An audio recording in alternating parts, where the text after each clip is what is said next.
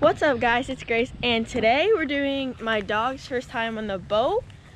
Um, it'll be my first time on the boat this summer too. We put in the water. She's got a life jacket. She, as of right now, she hates the water. I might have a clip to throw up, I don't know. Come on, baby. Wanna come in with me? There she is. Baby, are you so excited? Do you wanna go to the car? Okay. Okay, so we're on the boat and Phoebe likes it.